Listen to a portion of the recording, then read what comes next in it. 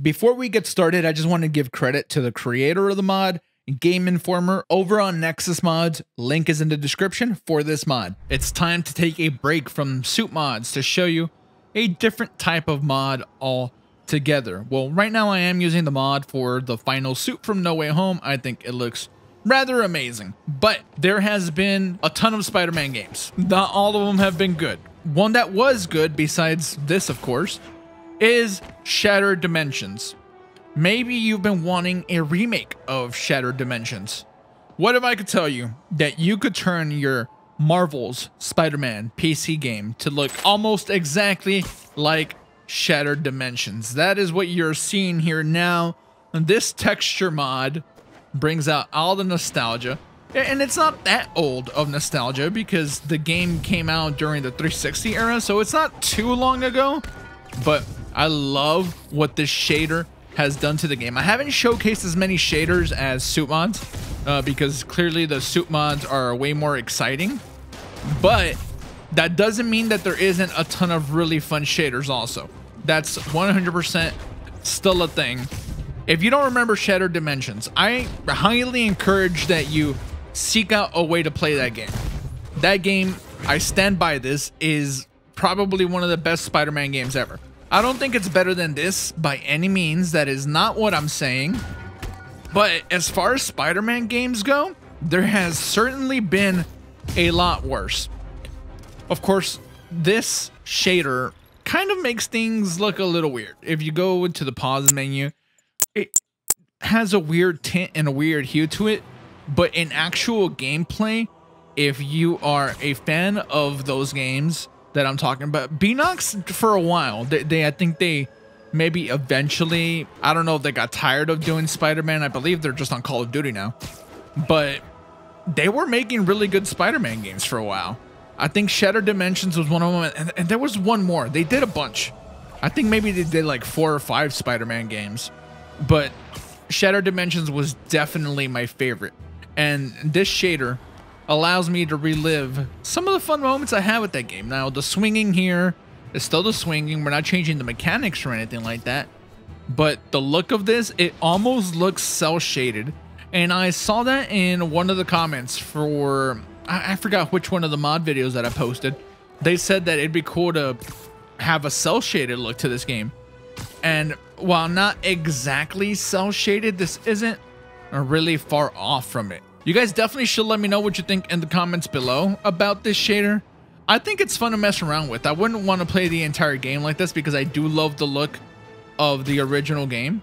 But the good thing about these mods is that all you have to do is press one button, boom, and it's back to normal the way you expect the game to look. One button press again, and we go right back to this uh, very unique look. Uh, at least we'll say that. You might not love the look. I know that if you don't have any nostalgia for these games, you might not love the look. But one thing that you probably would appreciate is just a chance to tinker and mess with the visuals. There are some really good shader mods. It's getting crazier by the day. Uh, I've been a little bit busy, so the suit mods, uh, taking a break from them today. I've done so many of them. I've done seven of them this week. So that's a lot of suits that I've looked at. But they continue to get better. We actually just now began to get suit mods that are more than just uh, color changes. That is barely starting to happen, where it is more texture and brand new suits in the game. That is happening more and more now. It, it's really going to start getting exciting soon, and I fully plan on covering some of that stuff in the very near future. This week is going to be an exciting one for mods.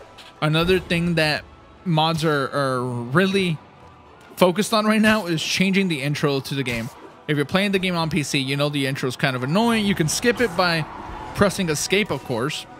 But what I did, and I won't show it here because of copyright stuff, but I just made it so that the intro for when I start the game is just the intro from the 90s Spider-Man cartoon. And that's amazing. Ah, I can never get these. Okay, I got it. I have such a hard time with those sometimes. They don't give you quite enough time, but hey, we got that one. Make sure to let me know in the comments what you think of this suit mod. Are you a fan of it? Are you going to give it a try? Is it just not for you? And it's okay if it's not. It, it doesn't have to be for everyone. But since I did like what Beenox did for a pretty long time, I at least wanted to check it out. And I thought that it looked different enough that it'd be cool to at least make one video on it. You do need Reshade to do it in case you're wondering like, hey, how do you do it? There is this program called Reshade. Then you just drag a file that you download from Nexus Mods. I'll have a link in the description. And that's pretty much it, I think. you don't have to do a whole lot besides that. And here we go, man. This is the reshade to make it a little bit more like Shattered Dimensions. Let me know what you guys think in the comments. I'm not going to try to push this to 8 minutes or anything, but I do hope you've enjoyed the look that we have taken. Thanks once again for all the support this week. It has been fantastic. And if you guys keep on watching it, I will keep on producing these mod videos for Spider-Man because honestly, the game is really fun. But with that, I'm going to go ahead and get out of here. You guys have been amazing. And that's it. I'm going to see you soon. Bye.